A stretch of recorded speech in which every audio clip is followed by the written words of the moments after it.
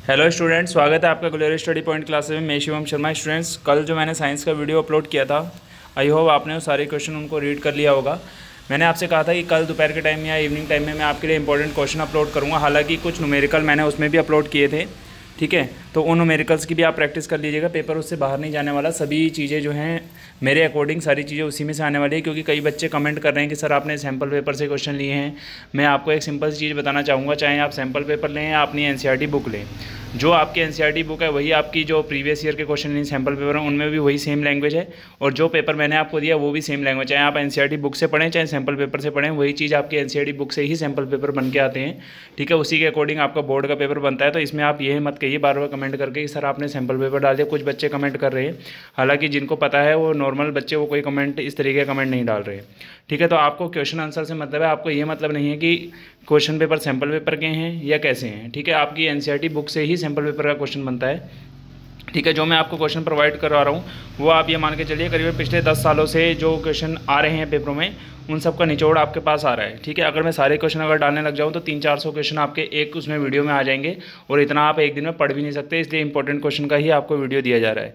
तो इन important question को अगर आप पढ़ेंगे तो कल एग्ज़ाम देने के बाद आपको खुद पता चल जाएगा कि कौन से क्वेश्चन इंपॉर्टेंट है, कौन से नहीं है। तो प्लीज़ क्वेश्चन को पूरा देखा करिए, आधी वीडियो देखने के बाद ऐसे कमेंट उल्टे सीधे कमेंट ना करें।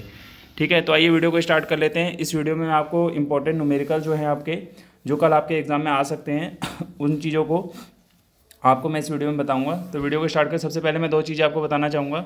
जो आपका जो है चैप्टर इलेक्ट्रिसिटी है इलेक्ट्रिसिटी चैप्टर से आप दो चीज़ों को आप ज़रूर पढ़ लेना, एक सीरीज़ कॉम्बिनेशन और पैरल कॉम्बिनेशन ठीक है? इन दोनों चीज़ों को आप ज़रूर पढ़ लेना, यानी समांतर क्रम संयोजन और जो है श्रेणी क्रम संयोजन वाला जो है, इन दोनों चीज़ों को आप ज़रूर देख लेंगे। ये आपके बहुत इंपॉर्टेंट टॉपिक हैं, हालाँकि कल वाले वीडियो में मैंने ये टॉपिक आपको बताया नहीं है। मैंने आपसे ये कहा था कि आज के इस वीडियो में इसको बताऊँगा। तो आइए वीडियो को स्टार्ट करते हैं। चैनल पर नहीं है तो चैनल को सब्सक्राइब ज़रूर कर लेना और बेलाइकन को प्रेस कर लेना, ताकि आपको इसी तरीके का अपडेट मिलता रहे। सबसे पहले आप देखेंगे, यहाँ पर बहुत ही बढ़िया क्वेश्चन ये वाला क्वेश्चन देखेंगे। फ्लेमिंग का वाम हस्त नियम क्या है? ये आपके सिलेबस में है। हालाँकि दाएँ हाथ का जो नियम है वो आपके सिलेबस में नहीं है, ठीक है? अगला वाला देखेंगे, दो बल्बों ए तथा बी के क्रमशः साठ वोल्ट और 240 वोल्ट और 100 वोल्ट 240 वोल्ट अंकित है, यानी पी और वी आपको गिवन है। आपको क्या करना है? आर यानी प्रतिरोध की गणना करनी है, किसमें प्रतिरोध ज़्यादा होगा, ठीक है? फॉर्मूला आप लगा सकते हैं P equal to V square upon R आप लगा लेंगे, उससे आपका आंसर निकल के आ जाएगा। सबसे वेरी वेरी इंपॉर्टेंट क्वेश्चन की श्रेणी में से रखते हैं, यानी वेरी वेरी इंपॉर्टेंट क्वेश्चन है आपका ये। कोई भी आपको एक परिपथ आरेख मिल जाएगा। ज़रूरी नहीं है कि परिपथ का आरेख इसी तरीके का हो। परिपथ का आरेख जो है आपका चेंज भी हो सकता है, उसमें जो रेसिस्टेंस यानी जो प्रतिरोध हैं उल्टे सीधे भी सेट हो सकते हैं। तो आपके मैंने इसी तरीके तीन चार क्वेश्चन रख रखे हैं, उन सभी क्वेश्चनों को आप ज़रूर कर लेना। इसमें क्या होता है, आपको क्या होगा, एक तो कुल प्रतिरोध निकालना होगा, एक प्रत्यवर्ती धारा यानी जो सॉरी प्रत्यवर्ती धारा कह रहा हूँ, प्रवाहित धारा आपको निकालनी पड़ेगी, ठीक है? ये आपके लिए बहुत इंपॉर्टेंट है, इस क्वेश्चन को बिल्कुल स्किप मत करना। ऐसे एक दो क्वेश्चन आप करके ज़रूर जाना। आगे देखेंगे, एक ये क्वेश्चन है, काफ़ी ज़्यादा बार पूछे जाने वाला है। 600 वाट अनुमत का कोई रेफ्रिजरेटर है जो आठ घंटे लगातार चलता है।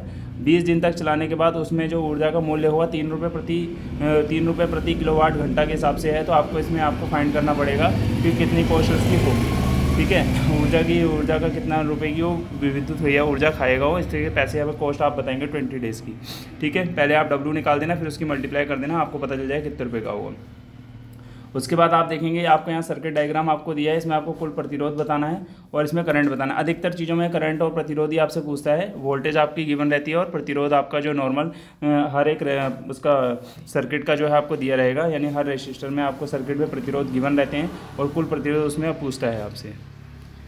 आगे देखेंगे इसे भी इंपॉर्टेंट क्वेश्चन मान लें आप, बिल्कुल। विद्युत प्रतिरोधकता से क्या अभिप्राय है? किसी पदार्थ के एल लंबाई तथा ए मोटाई के तार का प्रतिरोध चार ओम है। किसी पदार्थ के किसी अन्य तार का प्रतिरोध क्या होगा? जिसकी लंबाई एल अपॉन टू तथा मोटाई टू ए है। ठीक है, इस क्वेश्चन को आप करके ज़रूर जाना। इस तरीके का क्वेश्चन आपको मिल सकता है पेपर में।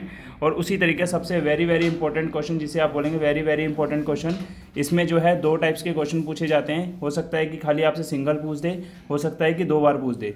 कि आप दो ओम, तीन ओम और छः ओम के तीन प्रतिरोध आपको दिए रहेंगे, यानी रेसिस्टेंस आपको गिवन रहेंगे। उनको आप किस तरीके से संयोजन करेंगे कि कुल प्रतिरोध आपका, यानी टोटल रेसिस्टेंस आपका आएगा, चार ओम आए और एक ओम आए। इसको आप चाहें तो आरेख की सहायता से भी दर्शा सकते हैं, ठीक है? आरेख आपको बनाना ज़रूरी है, ठीक है? इस क्वेश्चन को आप ज़रूर कर लेना, ये क्वेश्चन छोड़ना मत। बहुत ही इंपॉर्टेंट क्वेश्चन है ये।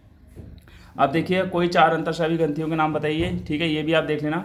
और एक ये इस तरीके का क्वेश्चन इसमें जो है आवेश का और विभांतर से रिलेटेड आपका एक क्वेश्चन ज़रूर आता है। ठीक है, चाहे उसमें आपको कार्य दिया हो विभांतर निकालना हो या कार्य और विभांतर दिया हो और आवेश निकालना हो, इस तरीके के क्वेश्चन आपके पेपर में ज़रूर पूछेगा। तो इसलिए आप जो V equals to W upon Q वाला फॉर्मूला याद रखें और Q equals to N E वाला फॉर्मूला भी आप याद रखेंगे।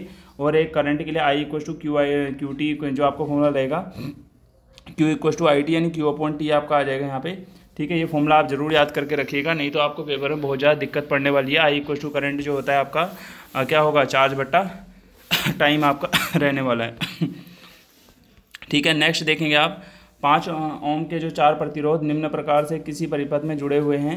परिपथ का तुल्य प्रतिरोध ज्ञात करना है। आप देखेंगे चार प्रतिरोध आपके, देखो ये डायग्राम मैंने आपसे कहा था अलग अलग तरीके के डायग्राम आपके आ सकते हैं। इस तरीके का डायग्राम आपको सामने दिया हुआ है। तो जो चीज़ आपको फाइंड करनी है, तुल्य प्रतिरोध, आप उसको निकाल देंगे।